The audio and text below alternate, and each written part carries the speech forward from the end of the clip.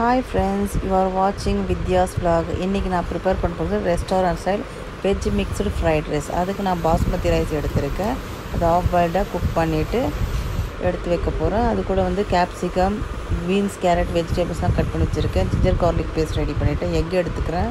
அதுக்கு ஒரு கடாயில் ஆயில் விட்டுட்டு egg pepper and then salt add பண்ணிவிட்டு பொடி மாஸ் மாதிரி பண்ணி அது தனியாக எடுத்து வச்சுருவேன்.